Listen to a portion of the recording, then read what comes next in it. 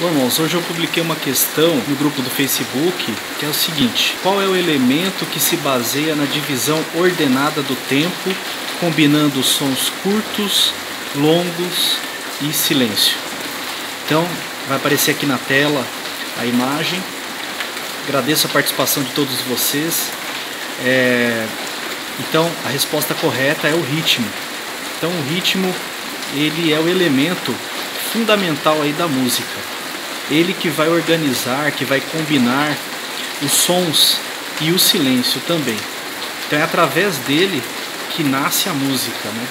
Que seria de nós sem o ritmo? Que seria da música sem o ritmo? Os hinos que nós tocamos? Então, os sons, eles são organizados no tempo. Então, tanto a melodia quanto a harmonia, elas dependem do ritmo para funcionar bem na música.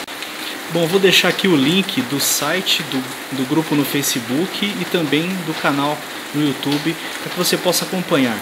Entra lá no Facebook e participa das questões, né? Ajuda a responder, né? É, quanto mais pessoas responder, melhor. Que aí a gente aprende todo mundo junto. É isso aí, até o próximo vídeo.